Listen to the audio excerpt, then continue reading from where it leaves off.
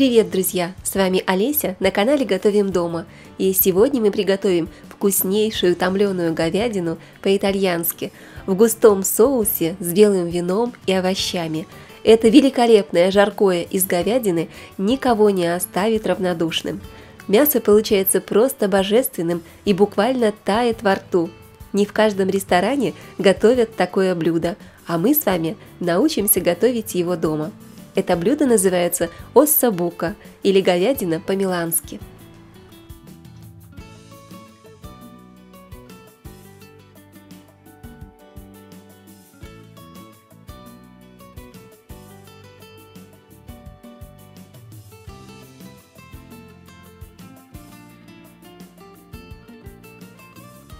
Для приготовления оссабука нам понадобится говяжья голень, распиленная на вот такие стейки с мозговой косточкой.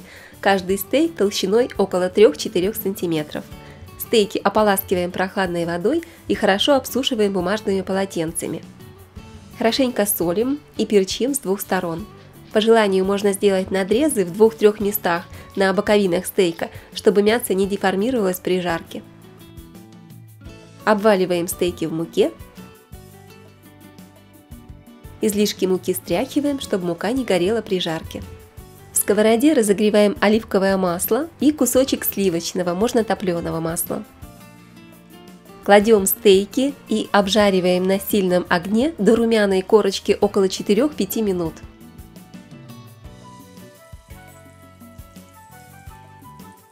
Переворачиваем и жарим с другой стороны еще 4-5 минут. Можно также обжарить бока стейка, но это не обязательно. Перекладывая мясо в глубокий сотейник, у меня большая чугунная кастрюля. Если нет подходящей кастрюли, подойдет глубокая керамическая форма для запекания. Теперь нарезаем овощи. Нарезаем лук, можно не стараться мелко резать, так как лук практически растворится в соусе во время тушения. Морковь нарезаем кубиками, можно кружками или полукружьями. Также нарезаем стебли сельдерея.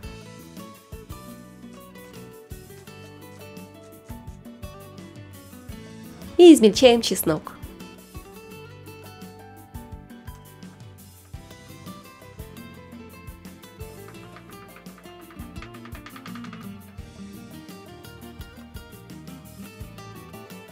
В глубокой сковороде или сотейнике разогреваем оливковое масло вместе со сливочным.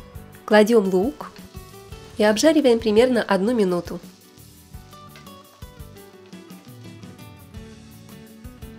Добавляем морковь,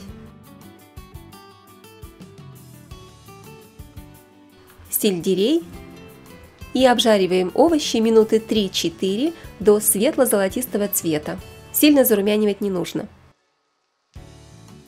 Теперь добавляем чеснок и обжариваем еще 1-2 минуты. Обжаренные овощи перекладываем к мясу. Добавляем томаты в собственном соку. И вливаем белое сухое вино. Даем закипеть и готовим около 5 минут. Затем вливаем бульон и снова доводим до кипения.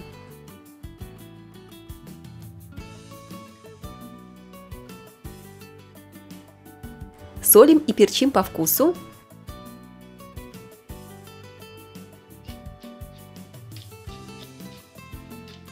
И для аромата можно добавить букет гарни.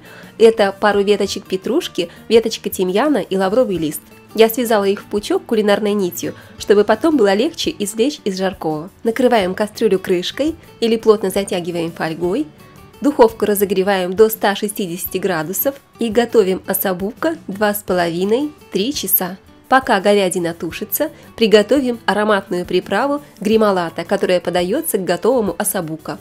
Лимон хорошо моем, обсушиваем и снимаем с него цедру. Петрушку мелко рубим.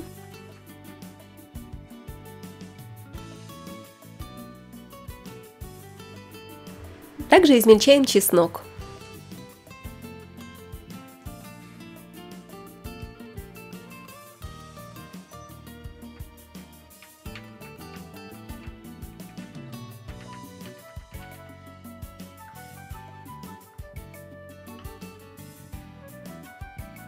Грималата готова. Готова и наша осабука. Посмотрите, какая красота! Яркий насыщенный цвет соуса и просто божественный вкус. Соус густой, вкусный и ароматный, а говядина просто распадается на волокна и тает во рту. А самое вкусное – это то, что находится внутри мозговой косточки. Традиционно касабука итальянцы подают ризотто миланезе с шафраном. Ну а мы можем приготовить более доступный гарнир, например, рис или пасту, то, что вы любите. И безусловно – Прекрасным дополнением к такому блюду будет бокал вина. Друзья, обязательно приготовьте это жаркое на праздничный стол или к воскресному обеду.